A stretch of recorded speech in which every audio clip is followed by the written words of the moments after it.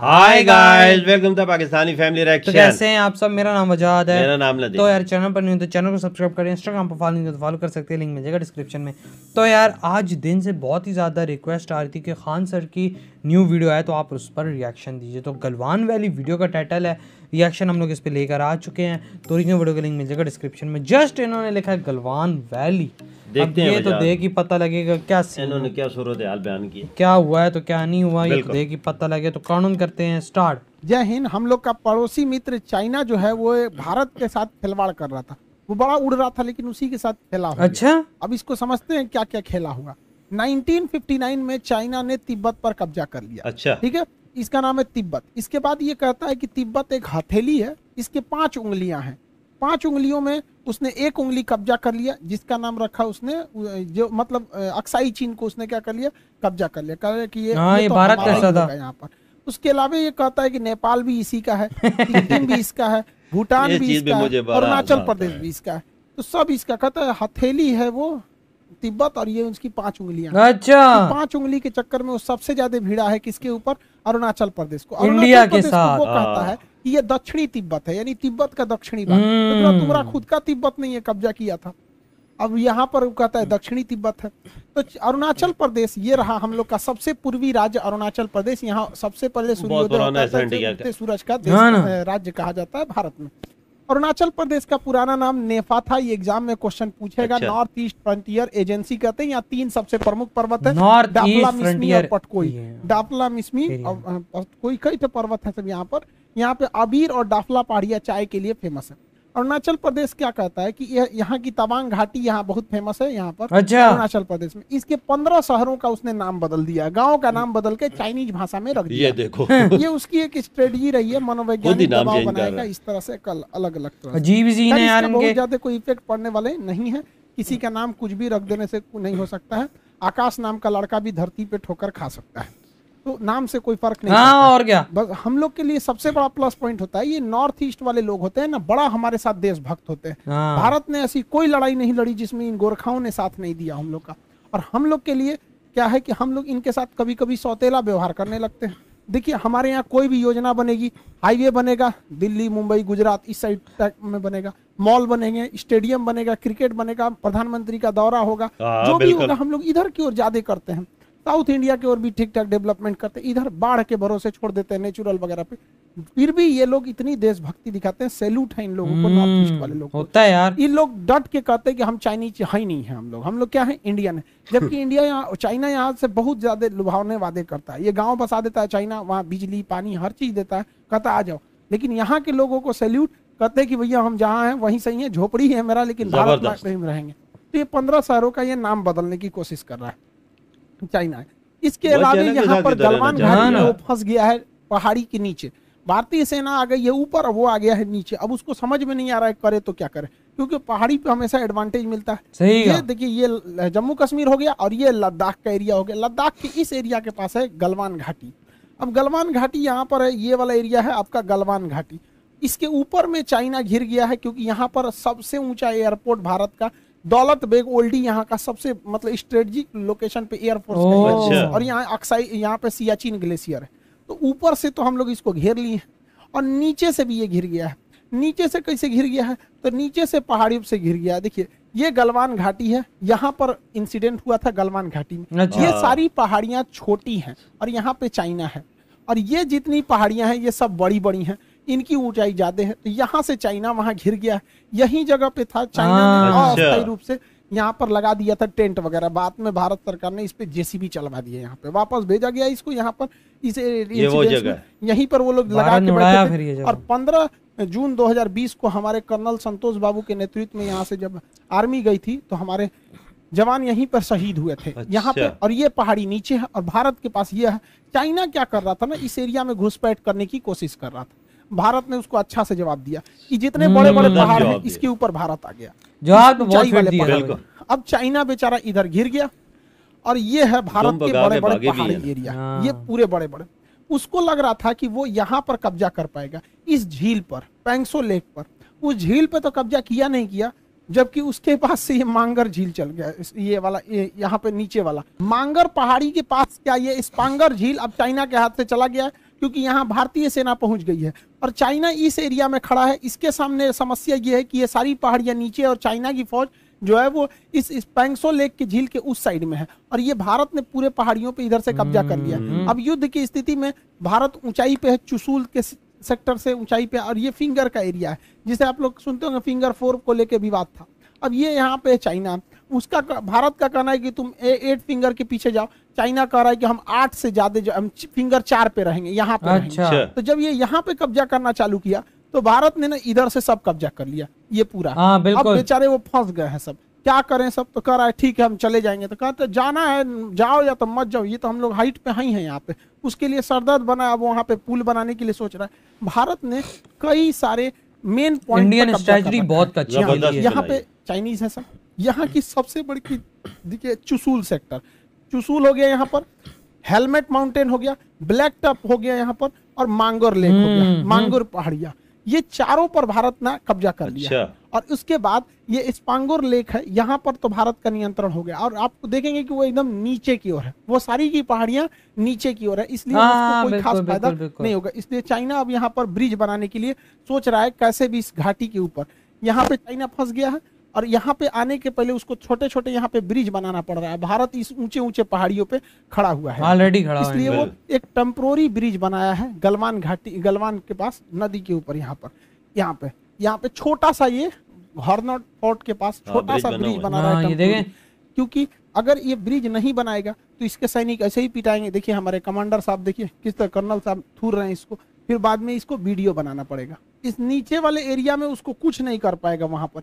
कभी भी पहाड़ पर हाइट का फ़ायदा होता है। हाँ, ये तो है। black top हाइट का बहुत फ़ायदा बहुत होता है। है। सेक्टर हो गया। ये सब एरिया से भारत को काफ़ी ज़्यादा फ़ायदा हाइट के ऊपर यहाँ से तो सड़कें भी प्रॉपर हाँ, बना तो ली गई है मारना भारत आसान हो द्वारा। जाता है। आप देखेंगे तो इसमें प्रॉपर ढंग से सड़क बना ली गई है। और यहाँ पर भारत ने अपना बेस भी बना के रखा है। जो सैन्य अड्डा है उसको भी बना के रखा गया है। तो ये भारत के लिए काफ़ी प्लस पॉइंट साबित हो जाएगा यहाँ पर। इसीलिए हाँ। चाइना को डर लगता है। ये आईटीबीपी का है। आप हाँ देखिए अंतरिक्ष से भी दिख रहा है। आईटीबीपी यहाँ लिखा हुआ है। भारत का यहाँ पर वो। तो ये चाइना के लिए बहुत बड़ा टेंशन की बात है कि हमेशा जहाँ पर नहीं भारत का रोड वगैरह नहीं थे वहाँ इतनी अच्छी भारत ने सड़कें कैसे बना ली? भाई, ये दूर से यही तो नहीं बात समझ है में आ रहा होगा यहाँ पर। बनानी पड़ती ये एरिया में है। हाँ। और ये झील है यहाँ पे। सोच रहा तुम कहाँ से आओगे यहाँ पे? झील के पास से भारत रोक ही देगा यहाँ। लेकिन चीन की जो सेना है यहाँ उसके पब्लिक है उसको तो लग गया कि ये तो चीन का प्रोपोगेंडा है। इसके लिए वो अपने सोशल मीडिया के माध्यम से प्रचार करना चाह रहा था। उसने क्या किया कि अपना तिरंगा आप तिरंगा तो उसका है नहीं ये लाल झंडा लेके लहराता है और यहाँ चाइनीज़ भाषा में कुछ लिखा है जिसका मतलब होता है कि हम अपनी एक इंच भी ज़मीन नहीं छोड़ेंगे यहाँ पर।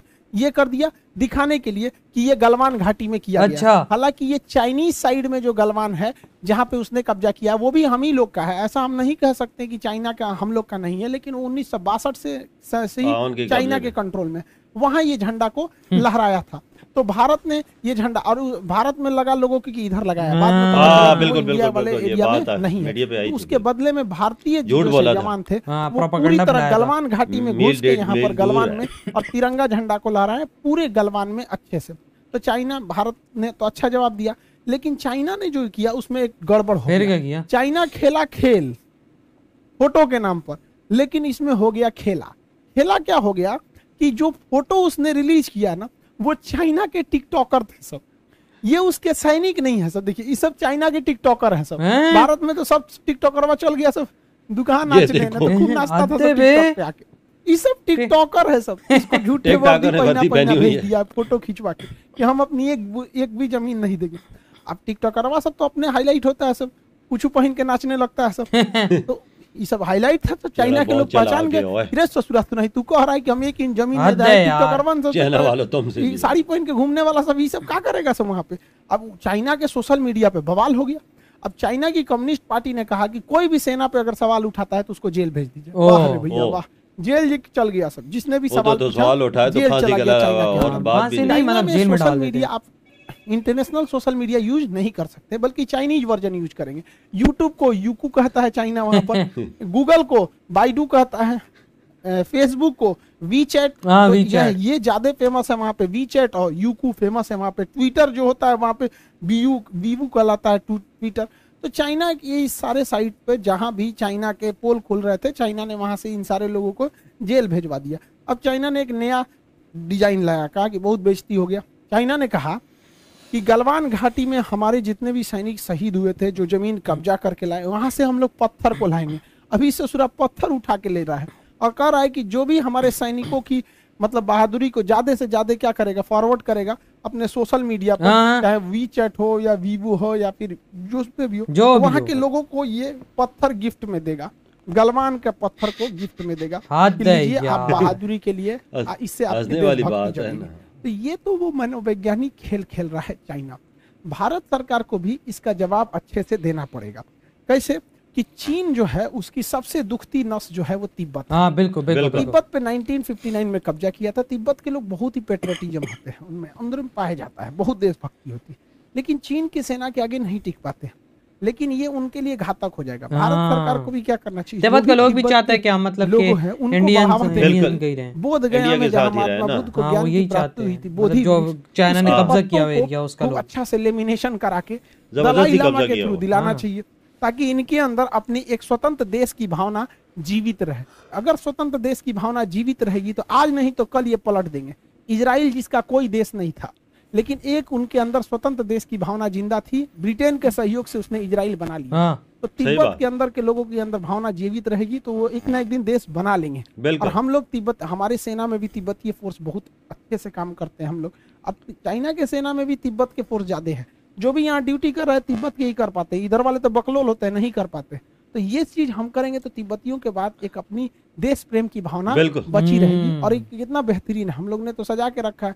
बौद्धि वृक्ष को और इसका महत्व भी है बौद्ध धर्म में इससे ज़्यादा पवित्र चीज़ कुछ है ही नहीं है। इसके पत्तों को खूब अच्छे से सजो के रखना चाहिए। तुम पत्थर बांटो हम पत्ते बांटते हैं।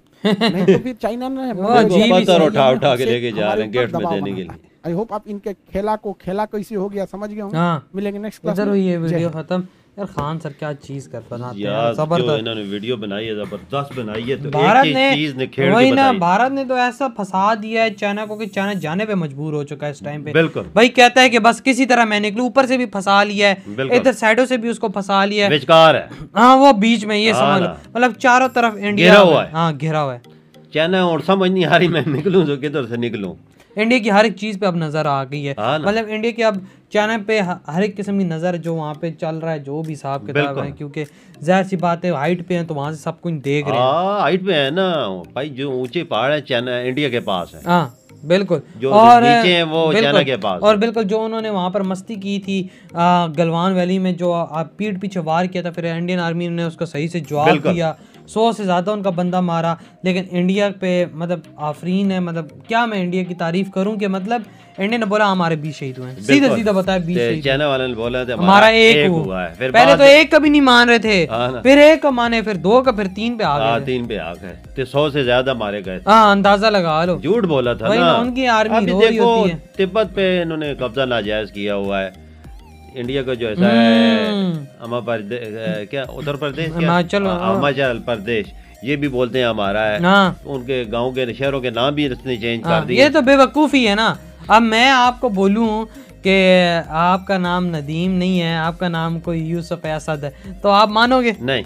भाई ये यार नाम का का क्या? होते हुए आप नाम क्यों चेंज करते हैं? हाँ, इंडिया खुद है ना चेंज हाँ करने ना वाला। ना। इन्होंने गलत पंगा लिया है। यार- कहते हैं कि तिब्बत एक मतलब हाथ है तो उसकी उंगलियाँ ये इस इलाके में- ये वो। लेकिन ये है कि भाई फिर इंडिया ने गलत चीज़ से पंगा ले लिया इंडिया के साथ ना चाइना ने। बिल्कुल ये अपने इलाके में थानेदारी कायम करना चाहता है। हाँ, सारी चीज़ों में भूटान भी मेरा ऐसा है नेपाल भी मेरा ऐसा है सारे सारे तेरे ही ऐसे हैं और किसी का ऐसा नहीं है। वही ना यार मैं तो कहता हूँ इंडिया अभी बहुत सही जा रहा है। अपनी पावर को बढ़ा फिर जब टाइम आए तो मैं कहता हूँ इनसे तिब्बत भी ले लें। इनको रातों रात इनको इन झूठों से देखो तस्वीरें हाँ, तिरंगा हाँ। लहरा के पूरे बोले हम गलवान घाटी में खड़े हैं। वो वहाँ के टिक टाकर थे। अटैक टाकर थे। और बोला इंडियन आर्मी तो सच में वहाँ पे खड़े हो बिल्कुल अपना झंडा लहराया था। वही तो सामने में मीडिया भी ये- नज़र आ रही थी ये ना। जब चीज़ सामने आई है तो क्या फ़ायदा है ऐसा कर? मतलब हर जगह अपनी बेइज्जती करा रहे होते हैं। बिल्कुल। वो भी उनकी आर्मी नहीं थी टिकटॉकर खड़े हुए यार। मतलब ये यार। ये मैं तो पैसे दे के ले आए होंगे हाँ और क्या? आर्मी वाले नहीं आ रहे होंगे टिकटॉकरों को बोला भाई तुम ही आ जाओ। यार। तो यार आप लोग पता है आपके क्या थॉट इस वीडियो के बारे में? इधर वीडियो खत्म करते तो बहुत ज़्यादा खैर बाय